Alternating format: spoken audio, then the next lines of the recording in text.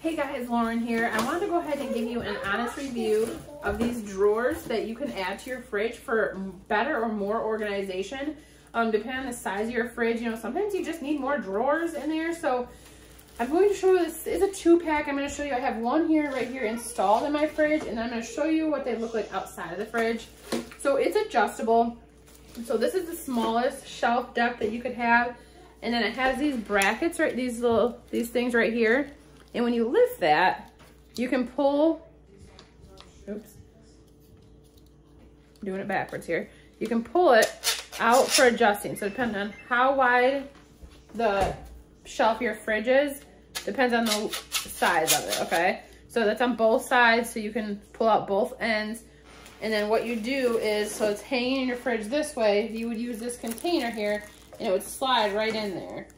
And it, with each of these does come a divider that you can put in the middle of your middle of your container.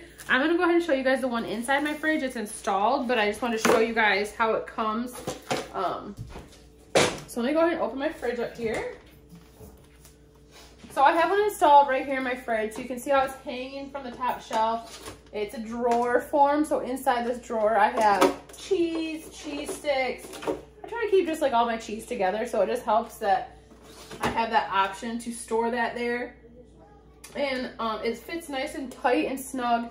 And it just, it opens really well. So overall, I'm very happy with these. Um, I only needed one right now, but depending on what we have in our fridge at a time, I may add another. But comes in this two pack and they're super easy to use. So I hope you guys like it.